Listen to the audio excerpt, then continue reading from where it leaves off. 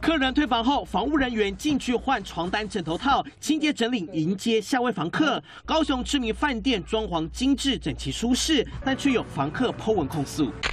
标题住宿惊魂记，说自己连续入住却被房务闯入。当时这对情侣熟睡，也没有穿衣服，但睡前有按下请勿打扰按钮，以及打电话告知柜台，但还是遭到房务人员闯入，说要打扫房间。情侣当场惊醒，吓坏了，气炸退房。很夸张，但是没办法。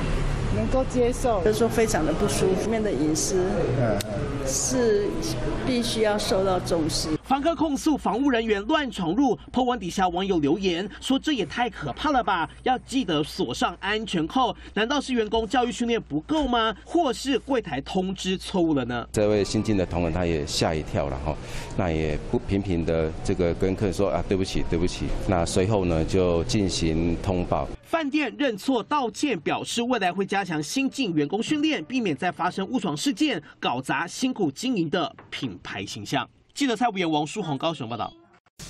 我是肖慧文，您的生活日常从每天收看中视新闻开始，中视新闻陪您度过平凡而充实的每一天。更多新闻也请您锁定中视新闻 YouTube 频道，记得按赞、订阅、分享，还要记得开启小铃铛哦。